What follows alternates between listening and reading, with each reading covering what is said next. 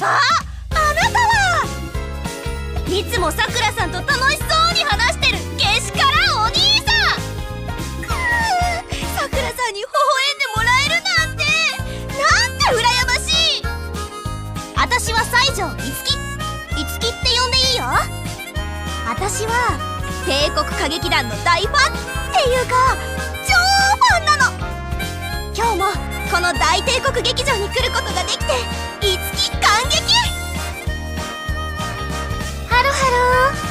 そこのお兄さん何かお困りですか？私は本郷ひろみ。